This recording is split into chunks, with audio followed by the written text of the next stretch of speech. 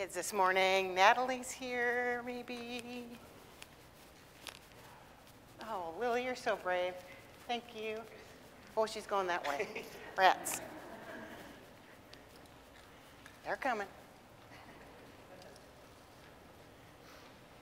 Good morning, girls. Aren't you special? You're the only ones here today. That's awesome. Hey, hang on a second, will you? Hey, hey, Miss Barb. Miss Barb? Yeah? Oh, hey, you want to grab that cup of coffee this morning? I heard the pot Hey, perking sounds- out there. That sounds good. Oh, great. okay. Yeah. Uh, Susan? Yeah.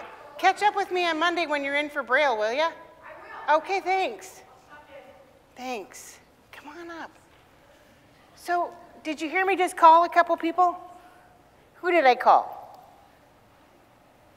Hi, Claire. I called Miss Barb over there, didn't I? I said, hey. And I called Miss Susan back there. Didn't I? How are you, Claire? Good. There you go. Good job. Good job. Hi, come on up. So, do you know that when you call somebody, you don't have to have a phone? You don't have to have, I didn't have a phone, but I called Miss Barb over there. I don't have a phone, but I called Miss Susan back there. Today we heard Pastor Steve read about when Jesus called the disciples. Did he use a phone? He did not. He did not use a phone. Do you know what words he used when he called them? He said, Follow me. That's exactly right, Natalie. That's what he said. Follow me. Wow. And did they? They did. They left what they were doing and they thought he was pretty amazing. And so they did follow him. Come on up. You can sit with me.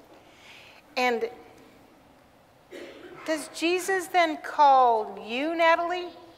Does he call you? What does he call you for? There is a hard question. He calls every one of us here.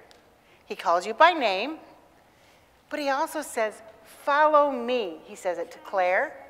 Yeah, he says it to Claire. Yeah, you can sit right here, sure.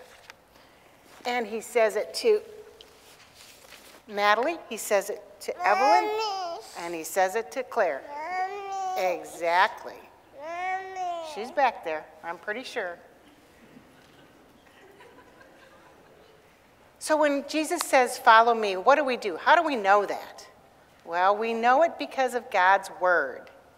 And God says, Follow Jesus and do what Jesus does. Long time ago, when Pastor Steve was baptized, God called him. Do you think he knew then he was going to be a pastor?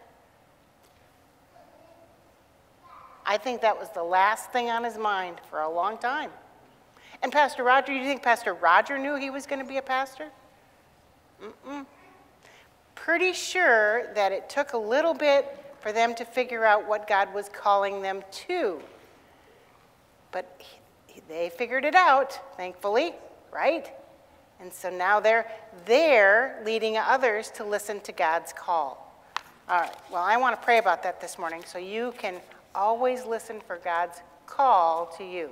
Let's fold our hands and bow our heads and close our eyes. Father in heaven, we thank and praise you for Jesus who calls us to follow him. Give us courage to do that and wisdom to hear and listen to your voice. In Jesus' name, amen. Here you go, girls. Sure. Mm-hmm, you sure can. Did she go back? Where's that Claire? Did she go back? See ya. I'll give you one.